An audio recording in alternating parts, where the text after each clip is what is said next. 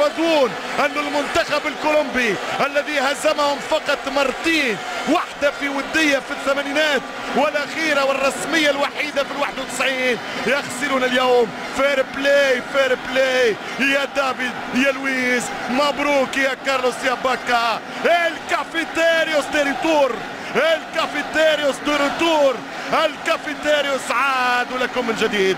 واحد كولومبيا صفر البرازيل. برازيل لم تظهر هذا المساء. كانت شحيحة وكانت بخيلة على مستوى الأداء على مستوى الإبداع على مستوى الروح والرغبة في الانتصار. كولومبيا رغبة الفوز كانت موجودة. كارلوس باكا يستاهل حمراء بين الصفرة والحمراء هناك أزرق خرج مهزوم. وأصفر كولومبي في عنان السماء. خرج منتصر وفايز بالنقاط الثلاث. كولومبيا في قمة المجموعة الثالثة تنتصر بأغلى النقاط على الفريق البرازيلي. 1-0 هدف دقيقة 36 في الشوط الأول. موريو 85 في ماتش ودي. 91 في الشيلي في أول رسمي. بعد ربع قرن 24 عام. الليلة فراغ سباح. وليلة كبيرة في كولومبيا. نعم ورقة حمراء. لمن؟ لمن؟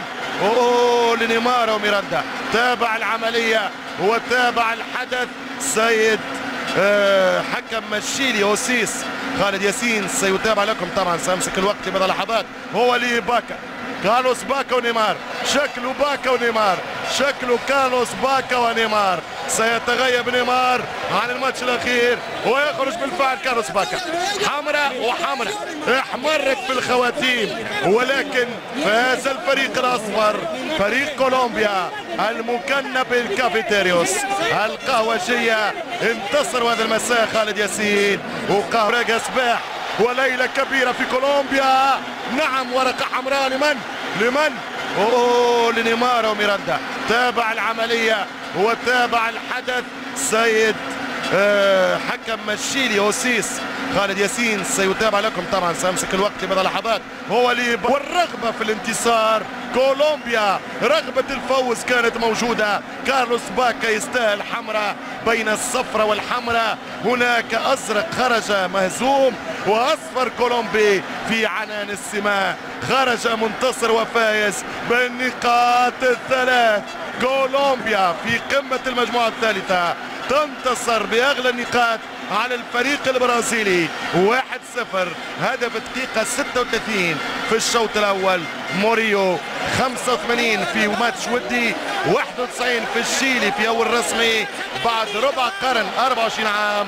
الليلة يرفضون أن المنتخب الكولومبي الذي هزمهم فقط مرتين واحدة في ودية في الثمانينات والأخيرة والرسمية الوحيدة في الواحد وتسعين يخسرون اليوم. fair play fair play يا دافيد يا لويس مبروك يا كارلوس يا باكا. الكافيتيريوس تيريتور الكافيتيريوس تيريتور الكافيتيريوس عاد لكم من جديد واحد كولومبيا. صفر البرازيل برازيل لم تظهر هذا المساء. كانت شحيحة وكانت بخيلة على مستوى الأداء على مستوى الإبداع على مستوى الروح.